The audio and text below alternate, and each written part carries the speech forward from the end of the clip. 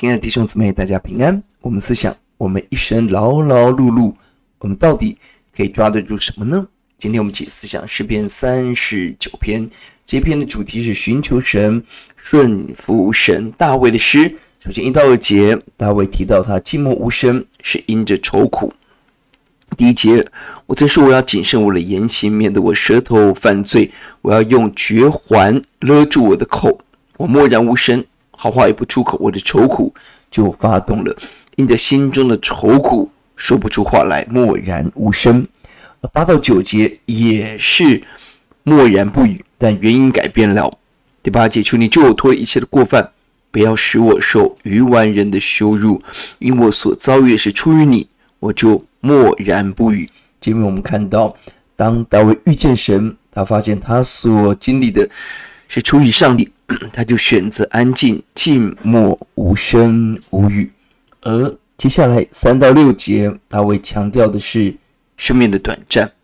第三节，他默想的时候，火就烧起来。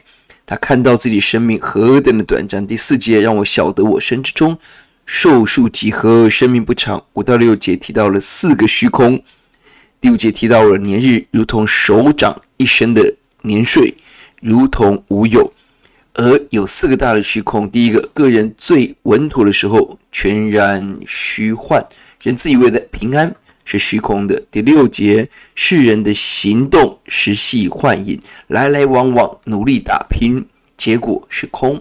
第三，他们忙乱，真是枉然，人的忙乱哀叹也是虚空。第四个，积蓄财宝。不知将来有谁收取？累积了这么多钱，身后也是虚空。看到自己的短暂，万事虚幻。十到十一节去认识神的管教，人的虚幻。这边提到了，求你把你的责罚从我身上免去，因你手的责打我便消灭。而他提到第十一节，世人的笑容消灭，如衣服被虫所住。这里提到了恶人的喜乐，在神刑罚的时候都要灭绝，成为虚幻。就在人生这么短暂、这么多事情、这么虚幻当中，我们的盼望在哪里呢？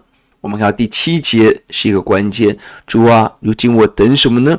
我的指望在乎你，呼求神，指望神，指望在于神，以至于八到九节可以因着神安静等候神。最后十二十三节。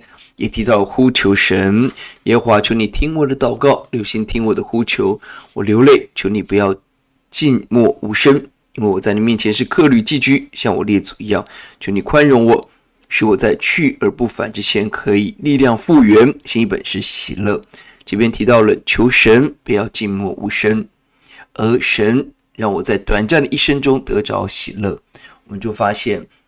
当大卫来到神面前，他因着愁苦生命的短暂，他安静，而他却呼求蛇解。神不要安静，神要对我们说话。当我们得着神的话，即便人生很短，很多事很有限，但我们却得着真实的指望与喜乐。我们来祷告，耶稣打开我们的眼，看到人生很短，唯有在耶稣里才有真正的永恒喜乐与盼望。让我们指望在于你，听我们的祷告，奉耶稣的名，阿门。